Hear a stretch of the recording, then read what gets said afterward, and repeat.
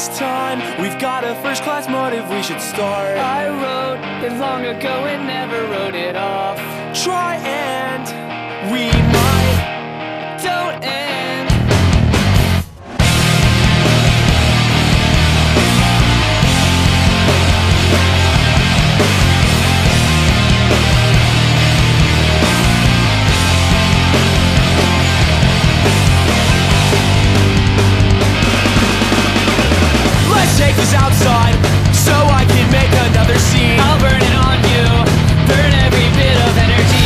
resist that Dare to be irresistible.